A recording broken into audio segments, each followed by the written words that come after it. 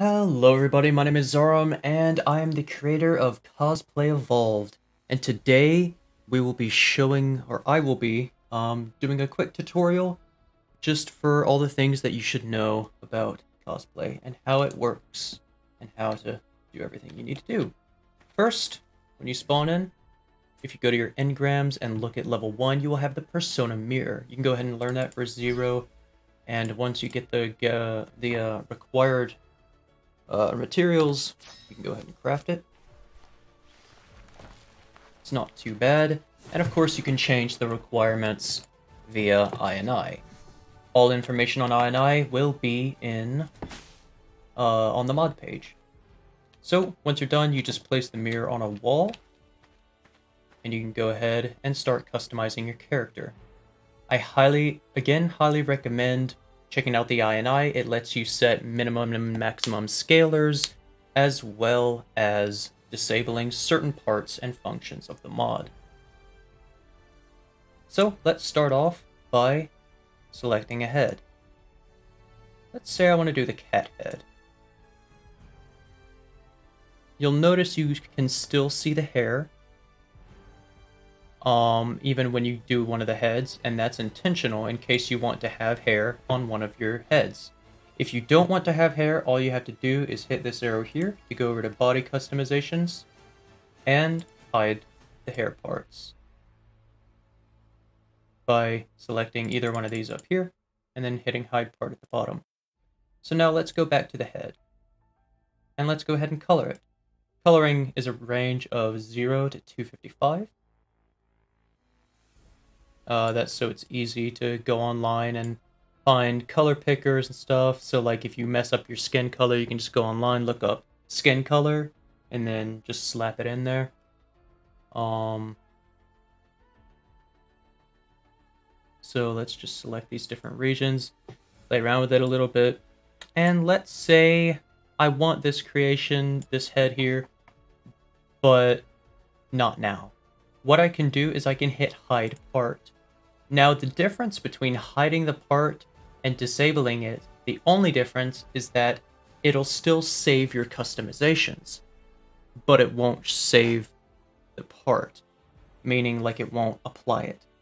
So if I want to keep my customizations, go ahead and hit hide part instead of disabling it. Now then, let's go to the wolf and let's make it purple wolf. Purple is the best color. Beautiful. Nice, brilliant green eyes. And black on top. Beautiful. Now then, every other part is about the same um, when it comes to just colors and stuff like that. Um, however, another thing that you can do is edit the location, rotation, and scale. For parts like the head, um, you have to bear in mind, uh, like parts that are painted to the body, you have to bear in mind that they are painted, that they will scale um, by the root of the character, which is right between the feet. To show you what I mean, if I scale the head on the z-axis, you'll see it goes up because it's scaling by the feet. Um, so you will have to keep that in mind. So if you wanted it to be a tall wolf head, then you'd have to do something like that. However, that's not what I want, so I'm going to go back there. However, other parts, most other parts, um, will not be weight painted to the body. Meaning when you scale them, they'll scale kind of like, more like you expect them to.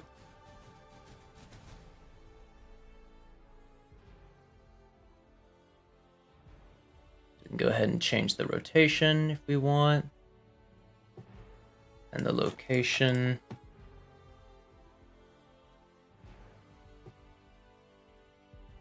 There we go. In any of these uh, spin boxes here, you can go ahead and uh, type in them if you want. Um, you can copy and paste. Um, so it allows for very, very fine customizations. Now to move on to the different parts. some of the different parts here include uh, wings. Wings are one of the few parts that add functionality to the game. Let's do insect wings, right? So these act as gliders. So you can glide with them just like, you know, normal. Um, now they're the glider functionality is a bit different on the wings in that the minimum angle, uh, like the default minimum angle, has been raised, meaning you will stay uh, more horizontal and maintain your altitude a bit better than the regular glider wings. Also, they allow for a bit quicker turning, and some of them have their own custom animations. Most of them do, actually. So that's the functionality of those. Let's move on to the next parts with functionality. Next parts with functionality would be any of the things that say fins. See, like that says fins, that says fins. These do not say fins, so they won't do it. But if we go ahead and check the fins, and I think, actually, there are a few others that do it as well. Like the... I don't remember where they are.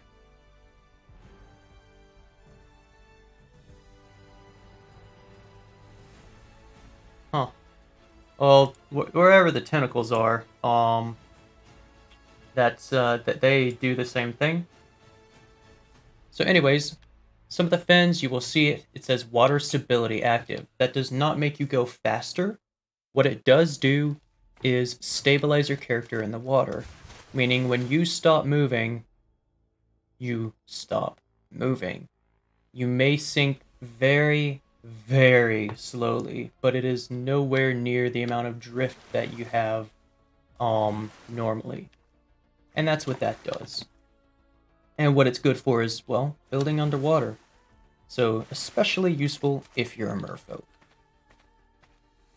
Final ability would be Climbing Claws. There's only one right now, but I'm sure there will be more in the future. And if you noticed when we were in our body customization, you can set a claws key. I'm going to set mine to a thumb mouse button and take off the modifier. And now, whenever I want, I can click the key that I bound and pull out my climbing claws. And then whenever I want, I can hit the same key again and put them away. Of course, that hurt pretty bad, but yeah.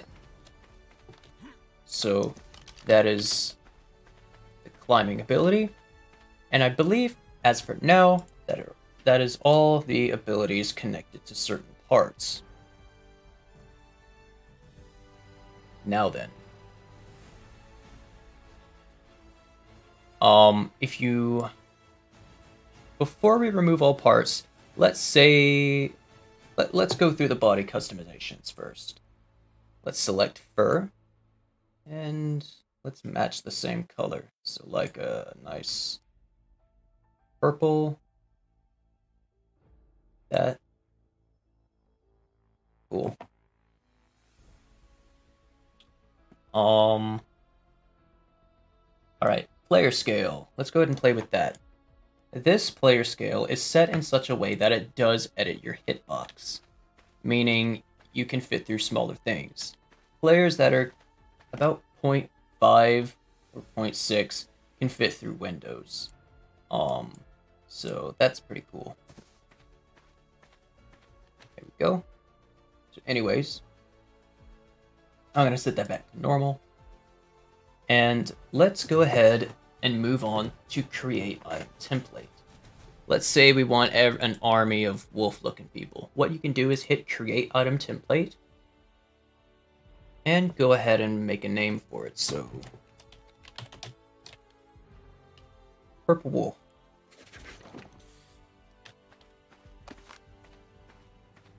And now, let's make a new character. So I could go through manually and change everything, uh, like delete all the parts and stuff, or you can go here to make the process a lot quicker. Remove all parts, are you sure? Yes. So now I can go through and make a cat head, I guess, like I wanted originally. Cat head with Let's do antlers. Some of those horns.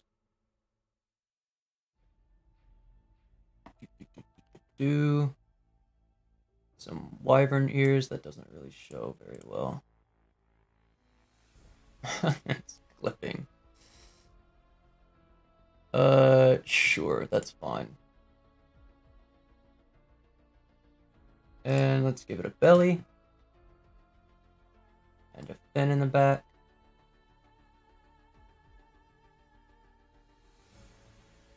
Hmm, let's see.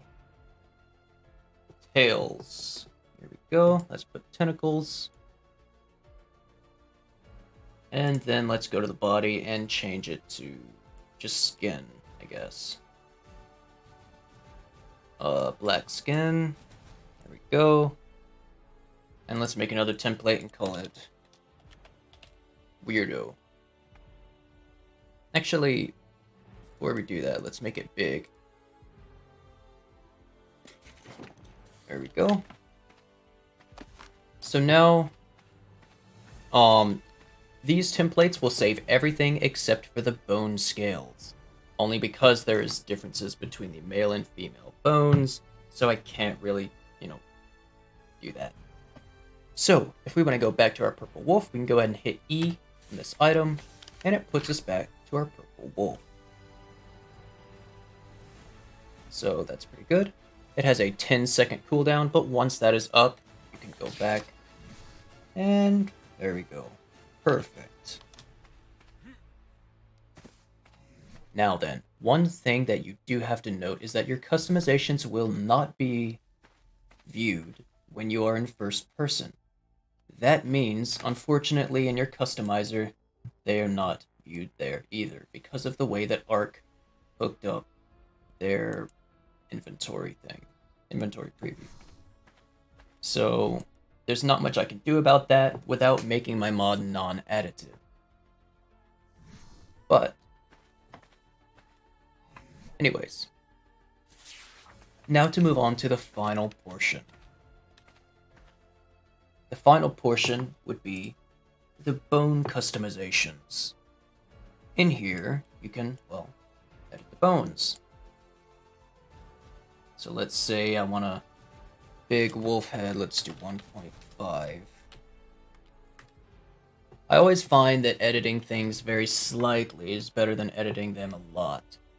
Um, upper face probably isn't going to do anything on the wolf head, nor the lower face. Neck would.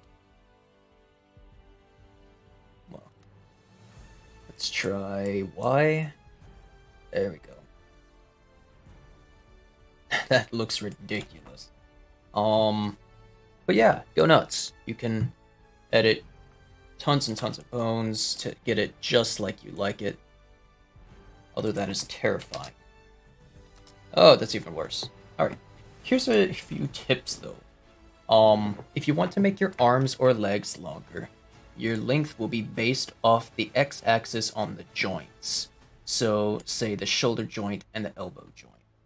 So let's go down to the shoulders. And if I do 1.2, you'll see it makes my arms up there slightly longer. And then elbow 1.2 makes that slightly longer. So now I'm a weird wolf with really long arms. And I could do the same thing for my legs. One thing that you do have to keep in mind though is as you edit the length of your legs, the longer you make them, the stranger they'll interact with the ground.